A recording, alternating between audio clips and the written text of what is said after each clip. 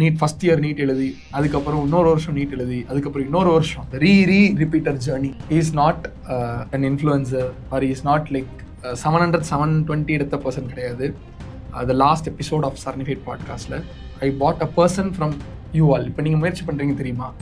ஒரு நீட் எப்படியாச்சும் கிராக் பண்ணி எப்படியாச்சும் ஒரு சீட் கிடச்சிடாதா கவர்மெண்ட் மெடிக்கல் காலேஜில் அப்படின்னு ஆசைப்பட்டு ஏதோ ஒரு கவர்மெண்ட் மெடிக்கல் காலேஜில் சேரணுன்ற ஒரு தாட்டோட ஓடின ஒரு பையன். ஸ்டார்டிங்கில் ஒரு வருஷம் என்னடா பண்ண முடியும்? இந்த வீடியோ நான் எதுக்கடா பார்க்கணும்னு கேட்டேன்னா உன்ன மாதிரி இடத்துல இருந்து தான் ஒருத்தன் வந்திருக்கான். இந்த மாதிரி ஒரு ரீ ரிப்பீட்டராக இருந்து நீ கவர்மெண்ட் விழுப்புரம் மெடிக்கல் காலேஜில் செகண்ட் இயர் எம்பிபிஎஸ் ஸ்டூடெண்ட்டாக இருக்கான். எனக்கு தெரிஞ்சு இஸ் நாட் எப்படி சொல்கிறது மிடில் கிளாஸ் பையனாக இருந்து அப்படி கஷ்டப்பட்டு என் காசே இல்லை நான் எப்படியாச்சும் கவர்மெண்ட் மெடிக்கல் காலேஜ் தான் எடுக்கணும்னு எடுக்காமல் காசு இருந்து அவங்க அப்பா பெரிய சர்ஜன் தமிழ்நாட்டில் ஒரு டாப் எண்டோஸ்கோபிஸ்டாக இருந்தார்.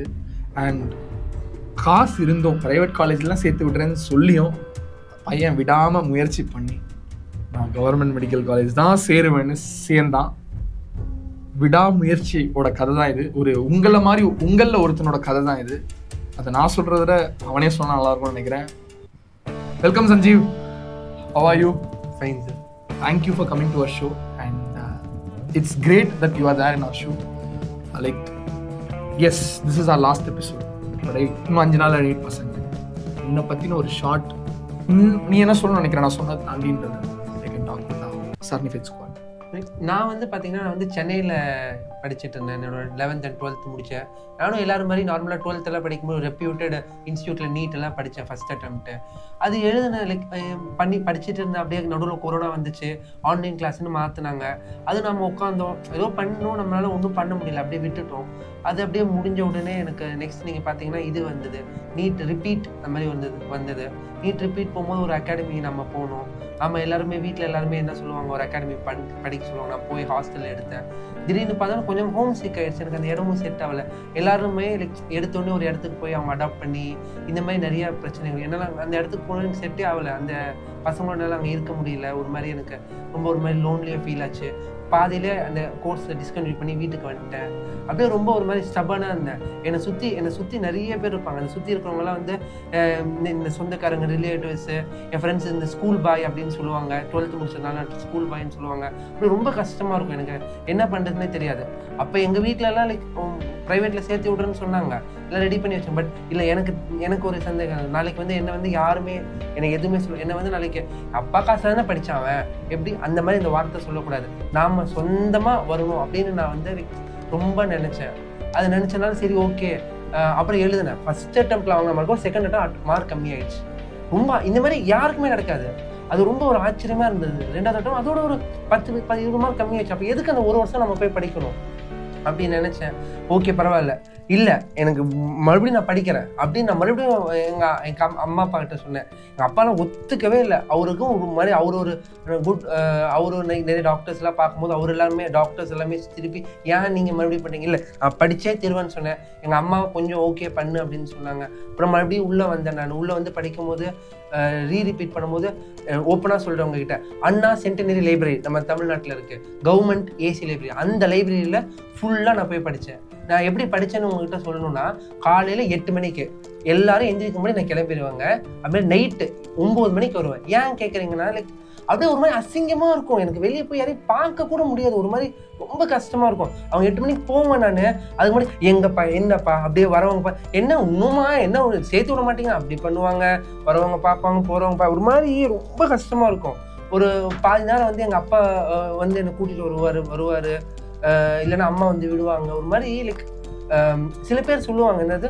பணம் இல்லைன்னா ரொம்ப கஷ்டப்படுவாங்கன்னு. ஆக்சுவலாக சில டைம் பணம் தாண்டி ஒரு மரியாதை ஒன்றுமே இருக்காது. சொசைட்டியே வந்து என்னோட லூசராக பார்த்துச்சு ரெண்டு வருஷமா. அது லைக் அது அதோட ரொம்ப கஷ்டம். ஏன் பணம் வந்து ஒரு ஹோட்டலில் போய் சாப்பிட்டா மட்டுமே பணம் மட்டுமே எல்லா டைமுமே இது கிடையாது. அந்த டைம் எனக்கு ரொம்ப கஷ்டமாக அது எப்படின்னா லைக் தாண்டி அதை தாண்டி அந்த லைப்ரரியில் போய் உட்காந்து யூடியூப் ஃப்ரீ அது இங்கே தான் ரொம்ப முக்கியம். யார் இதுவும் ஹெல்ப் இல்லை. நானும் ஃப்ரீயாக படித்தேன் ஜஸ்ட் ஒரு அகாடமி அகாடமியில் எக்ஸாம்ஸ்க்கு மட்டும் இது பண்ணேன். உட்காந்து நானே யூடியூப் வீடியோ பார்த்து கான்செப்ட் கான்செப்ட் ஆஃப் ஃபிசிக்ஸ் ஒவ்வொரு கான்செப்ட்டுமே நான் உட்காந்து அண்டர்ஸ்டாண்ட் பண்ணி இது பண்ணி படித்தனால இன்றைக்கி நான் எப்போ வேணாலும் யாருக்கு வேணாலும் சொல்லித் தர முடியும். லைக் அது மாதிரி ஒரு இதை எனக்கு அந்த கடவுள் எனக்கு கொடுத்துருக்காரு நான் கண்டிப்பாக நினைப்பேன்.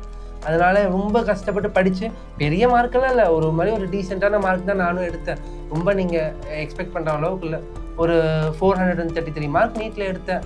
அந்த ஃபோர் தேர்ட்டி த்ரீ எடுத்தது நான்லாம் நினைக்கவே இல்லை எந்த மெடிக்கல் காலேஜ் வரும்னு. அதெல்லாம் நீ அந்த கடைசி கொஷின் இதுதான் சொல்லணும்னு நினச்சேன் கடைசி கொஷின் போகும்போது கண்ணுலேருந்து தண்ணீர் எனக்கு அந்த என்ன பண்ணுறது கடவுளே என்னால் முடியல. முடியல கடவுளே என்னால் அப்படின்னு சொல்லி அந்த பேப்பர் கடைசி கொஷின் நான் வந்து அந்த ஒரு மார்க்கிங் தான். ஒரு ஃபிசிக்ஸ் கொஷின் ஒன்று மார்க் பண்ணேன். ரெசிஸ்டன்ஸ் அன்னோன் ரெசிஸ்டன்ஸ் கண்டுபிடிக்கிறது. அதை நான் பார்க்கும் போது தான் எனக்கு லைக் அது அப்படியே எனக்கு முடியல. எனக்கு கொடுத்துருங்க எனக்கு வேண்டாம் அப்படின்னு சொல்லிட்டு அப்படியே வந்தேன். அப்புறம் வந்ததுக்கப்புறம் எங்கள் அப்பா அம்மாட்ட எதுவும் சொல்ல ஃபஸ்ட் டைம்லாம் ரொம்ப வாய்ப்பிட்டேன். நான் இன்னைக்கு ஒரு ஹோட்டலில் சாப்பிட்டேன். அந்த ஹோட்டல் பில்லில் வரதே மார்க்காக வருமானு வருமான்னு சொன்னேன். ட்ரிபிள் டிஜிட் நம்பரு அதெல்லாம் இல்லை. அமைதியாக ரொம்ப அமைதியாக இருந்தேன். அதில் எதுலையும் இன்னொரு எந்த காலேஜ் எல்லாம் கிடைக்கட்டும் எனக்கு எதுவுமே இல்லை. அதாவது க- கடைசி காலேஜ் கிடைச்சதான் வேண்டினேன்.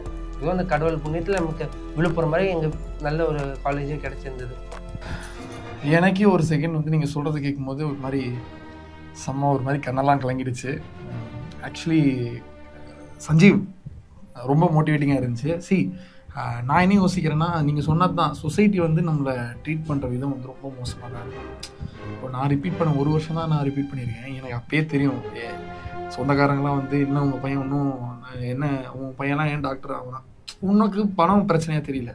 எனக்கு பணம் பிரச்சனையாக தெரிஞ்சது. அவங்கெல்லாம் பொறுத்த வரைக்கும் நாங்கள் மிடில் கிளாஸு ஏழைங்க. நாங்கள்லாம் வளரக்கூடாது. நாங்களாம் டாக்டர் ஆகக்கூடாது. நாங்களாம் அப்பா இல்லை எனக்கு சரியா. சித்தன் சென்ட்லேயே இறந்துட்டார். அம்மா மட்டும்தான். அக்கா தம்பி. இப்போ நீ சொன்ன தெரியுமா? ஆ? அதே மாதிரி தான் உனக்கு ஒரு சுச்சுவேஷன் இருந்துச்சு தெரியுமா? நீ உனக்கு நீயே ஒரு காம்பெட் காம்படிட்டராக இருந்த. எனக்கு என்னன்னா சொசைட்டி வந்து உன்னோட எதிரியாக பார்த்தேன். அதே தான் எனக்கும்.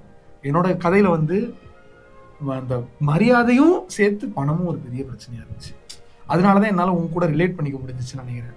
ஏன்னா நீ சொன்ன தெரியுமா? ஒரு ஒரு விஷயமும் அந்த கடைசி கொஸ்டின் ஐயோ இப்படியே முடிச்சுட்டு போயிட மாட்டோமா? கண்ணிலேருந்து அந்த ஒரு மொமெண்ட் ஆஃப் அந்த கண்ணிலேருந்து வர தண்ணீர் ஆகட்டும்.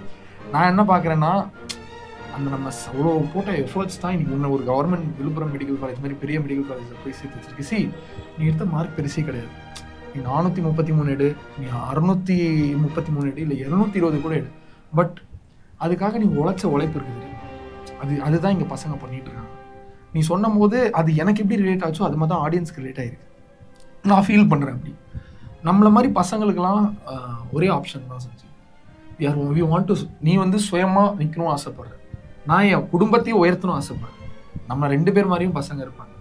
நான் என்ன யோசிக்கிறேன்னா அப்படி இருக்க பசங்களுக்கு நான் பர்சனலாக என்ன சொல்லுவேன்னா விட்டுறாதீங்க. ஏன்னா சி இன்னைக்கு உங்க கூட இப்போ சஞ்சீவ் பேசிகிட்டு இருக்காரு. சரிங்களா? நாளைக்கு நீங்கள் அந்த மாதிரி உட்காந்து இங்க பேசுவீங்க. சஞ்சீவோட ஸ்டோரி வந்து எனக்கு ரொம்ப ஆக்சுவலி சஞ்சீவ் நான் நான் கண்ட்ரோல் பண்ணிட்டு இருக்கேன். எனக்கு ஒரு கேட்ட உடனே ஒரு மாதிரி இம்பாக்ட் ஆயிடுச்சு. அந்த இம்பாக்ட் வந்து நான் அப்படியே கண்ட்ரோல் பண்ணி பேசிக்கிட்டு இருக்கேன். அண்ட் லைக் நம்ம பசங்க நீட் எழுதுறாங்க சஞ்சீவ் இன்னும் அஞ்சு நாளில். மேபி நான் சொல்கிறத விட what you gonna tell to students நம்ம பசங்க எழுதுறாங்க. அவங்க லாஸ்ட் மினிட்ல என்ன பண்ணட்டும்? பய பயப்படுறாங்க. அந்த பயத்தை உடைக்கிற மாதிரி the last few words of motivation நான் ஆக்சுவலாக லாஸ்ட் ஃபியூ வேர்ட்ஸ் என்ன சொல்லிக்க விரும்புகிறேன்னா எல்லாருமே என்ன சொல்லுவாங்க? லைக் ரிவிஷன் பண்ணுங்க இது ப- படிங்க இம்பார்ட்டன்ட் கொஸ்டின் எரர் நோட் இது இது எல்லாருமே பார்த்துருப்பேன் நீங்கள் யாரும் சொல்ல ஒரு விஷயம் சொல்கிறேன் உங்கள் அப்பா அம்மா கிட்ட கொஞ்சம் பேசுங்க. உங்கள் அப்பா அம்மாவோட விஷ் இல்லை உங்கள் அப்பா அம்மா கிட்ட ஒரு ஆசீர்வாதம் வாங்கி போங்க. அது ஒரு மாதிரி உங்கள் அப்பா அம்மா கிட்ட ஒரு ரெண்டு வார்த்தை பேசுங்க. அந்த ரிலாக்ஸேஷனுக்கு உங்கள் அப்பா அம்மாட்ட பேசுங்க. அப்பா அம்மா த பெஸ்ட் அப்படின்னு நான் நினைக்கிறேன். அந்த ரிலாக்ஸேஷனோட காமாக போய் எக்ஸாம் எழுதுங்க. எவ்ரி திங் வில் கோ பாசிட்டிவ்ங்க எல்லாமே நல்லதே நடக்கும்.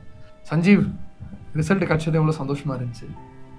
அது அது ஏன் சார் கேட்க நான் அதுக்கப்புறம் எனக்கெல்லாம் ஒன்றும் நம் என்னமோ நம்ம எழுதிட்டு வந்துட்டோம். எதை பற்றி அந்த மார்க் செக்கிங் எதுவுமே பார்க்கல. நான் பாட்டுக்கு சரி ஏதோ எழுதிட்டோம். இப்போ வந்து என்ஜாய் பண்ணி தான் ஆகணும்னு சொல்லிட்டு சும்மா அப்படியே வண்டி எடுத்துகிட்டு வெளியே போயிட்டு இருந்தேன். ரெண்டமாக ஒரு நாள் நைட் ஒரு பதினோரு மணிக்கு நானும் என் ஃப்ரெண்டும் பீச் எங்கள் வீட்டுக்கு பின்னாடி பீச் இருக்குது ஸோ பீச்சில் ஏதோ சாப்பிட்டுட்டு இருக்கும்போது திடீர்னு ரிசல்ட் வந்துன்னு சொல்கிறாங்க அப்புறம் வீட்டுக்கு போய் பார்த்தேன்.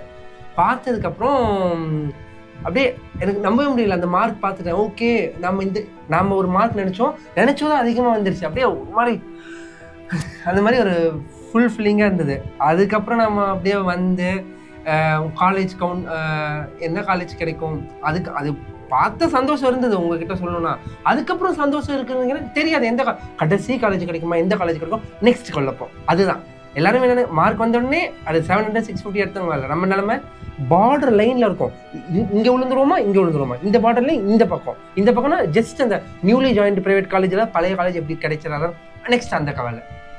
அதுக்கப்புறம் பார்த்து ஏதோ கிடைச்சது. அதோட ஒரு ஃபைன் ஹாப்பி தான். அதோட இருக்கும். நம்ம ஹாப்பியாக ஹெல்ப் பண்ணுறோம் பா- எல்லாருமே. நீட்டு சார் சார் அவர் மெசேஜ் பண்ண திடீர்னு பார்த்தாரு. அது அப்புறம் காண்டாக்ட் பண்ணி நாங்கள் பேசுவோம் இவன் வந்து என்கிட்ட வந்து மெசேஜ் பண்ணி இந்த மாதிரி சார் சார்னு ஏதோ மெசேஜ் அனுப்பிச்சிட்டு எனக்கு தெரியாது இவன் யாருன்னு. I contacted and he told me அண்ணா நான் நீட் பசங்களுக்கு காஸ் கிளாஸஸ் நடத்தலாம்னு இருக்கேன். அப்படின்னு.